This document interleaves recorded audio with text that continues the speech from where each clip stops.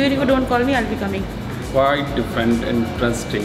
If uh, the, these type of workshops will be held, then we can make uh, more Abdul Kalams and Vivekanand. तो इससे मुझे बहुत ज़्यादा boost और motivation मिला है मैं बेटर वे में आज परफॉर्म करूँगा क्योंकि बहुत सी नई चीज़ें सीखने को मिली हैं overall experience is very I think excellent. It is excellent. केंद्रीय विद्यालय संगठन हमें ऐसे कार्यक्रम में भेजना चाहता है तो हम अपने आप को भाग्यशाली समझेंगे जो कभी हम स्कूल लाइफ में भी ऐसी चीज़ें नहीं बनाई तो यहाँ कर हमने काफ़ी चीज़ें उसमें सीखी है हम मोटर को बच्चों को बनाकर पाँच मिनट के अंदर ही बनाकर बच्चों को सिखा सकते हैं और वो वर्किंग मॉडल दिखा सकते हैं as a coordinator nine to twelfth मैं सारी क्लासेस में इम्प्लीमेंट करवाऊँगी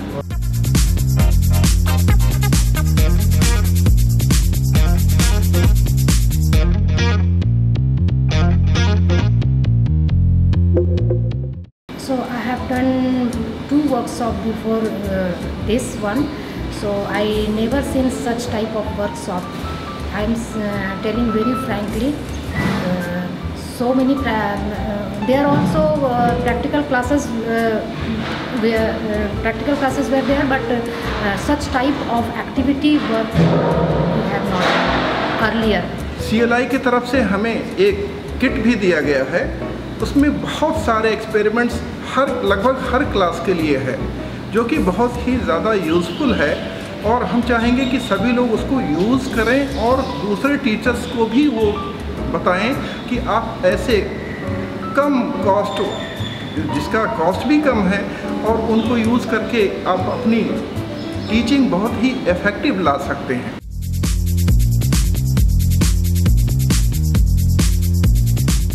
इन के B S I am from twenty one years और ये मेरा थर्ड वर्कशॉप है यहाँ पे। और जितने भी वर्कशॉप पहले भी रहे हैं, वो जनरली थियोरिटिकल रहे हैं। मोस्टली वही पार्ट हमने पढ़ा है, जो थियोरी थियोरी होती है एंड मोस्ट ऑफ़ देम वही हमने पढ़ा है। लेकिन यहाँ पर आकर डिफरेंट ये है कि क्योंकि हैंड्स ऑन करा है, कुछ हमने अपने आप भी किया है। आइडिया एक कॉन्सेप्ट आपके सामने आ जाता है, और शायद अब आगे जाके अगर हम उसको करेंगे देन वी कैन डू ये है. तो थोड़ा सा जो हेजिटेशन था ना, वो ख़त्म हो गया. हमें लगता था कि पहले कि हम लैब में ले जाए बिना नहीं कर सकते, है ना? तो बट अब हमें ऐसा लगता है कि नहीं जिस तरह उन्होंने हमें छोटा सा उसका किट बनाना सिखाया ना कि अगर हम उसको बनाएँगे then we can carry it in our classes also means we do not need lab for that तो हमारे पास कोई इशू नहीं है कोई एक्सक्यूज़ का. अगर हम चाहें तो हम कर सकते हमने देखा कि यहाँ का जो लैब है, वो बहुत सारे टीचिंग एड से भरा हुआ है. देख करके इनलाइटेड हुआ कि वास्तव में एक अजीब सी जिज्ञासा हुई कि ऐसे रूम्स अगर हमारे यहाँ, हमारे विद्यालयों में भी होते तो बच्चे देख के बहुत खुश होते। इसके बाद जो सेशन शुरू हुए, सबसे अच्छा ये रही कि जितने भी हमारे पार्टिसिपेंट टीचर्स हैं, उन्होंने हैंड्स ऑन एक्सपेरिमेंट करके यहाँ सीखा। जो ट्रेडिशनल वर्कशॉप या इन सर्विस कोर्स होते थे उनसे इंटायरली डिफरेंट हुआ।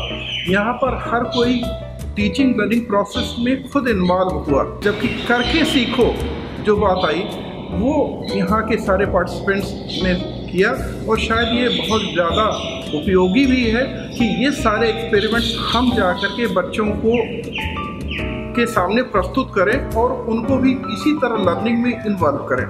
ये पिछले बार किए गए सर्विस कोर्स या किसी प्रकार की ट्रेनिंग से बिल्कुल अलग है।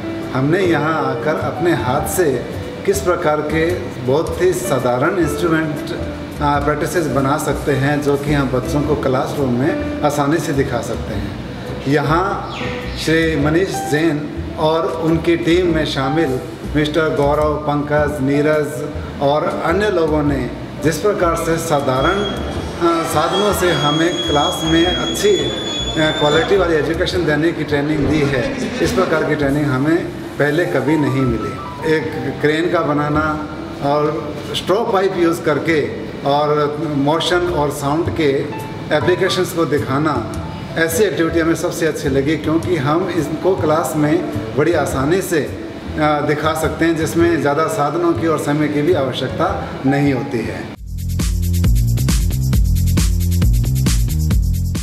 much difference from whatever in-service course I've attended in the previous years. It's a new type, hands-on experience is there. And I made myself a DC motor, a cantilever, using syringes for the first time.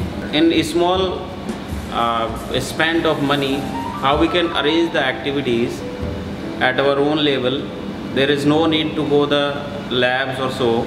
We can arrange very small activities at our own level and the kids can learn in a better way. हमें बहुत सारी activities करके दिखाई गई नए tools बनाने को मिले बहुत सारे नए गैजेट्स बताए गए बहुत सारे डिफरेंट प्रोफेसर से लेक्चर्स हुए जो कि डिफरेंट सब्जेक्ट्स पे थे और हमारी नॉलेज इसकी वजह से काफ़ी एनहेंस हुई। फिजिक्स की एक्टिविटीज़ जो करवाई गई उसमें बहुत सारे छोटे छोटे कॉन्सेप्ट हैं जो कि हम लोग क्लासरूम टीचिंग में नहीं पता लगे वो यहाँ पर ज़्यादा अच्छे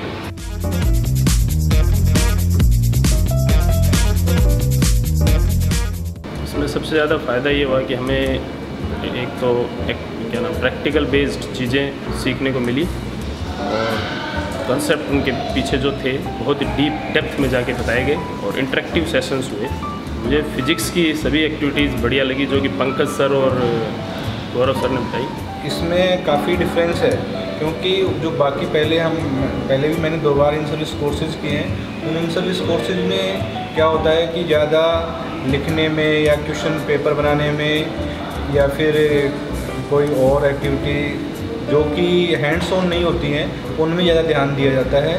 और इस वाली जो इन सर्विस कोर्स में है, इसमें हैंड्स ऑन पे ज़्यादा ध्यान दिया गया है, ताकि हम एक्टिविटीज़ को वहाँ पर परफॉर्म करा सकें। तो लेक्चरर्स आए जिन्होंने अपना समझाया, वो भी बहुत टैलेंटेड थे। उन्होंने छोटी छोटी चीज़ों को इतना अच्छे से समझाया, जो मिसकनसेप्ट होते हैं, जो हम बच्चों को नहीं बता पाते, वो इन्होंने बहुत अच्छे से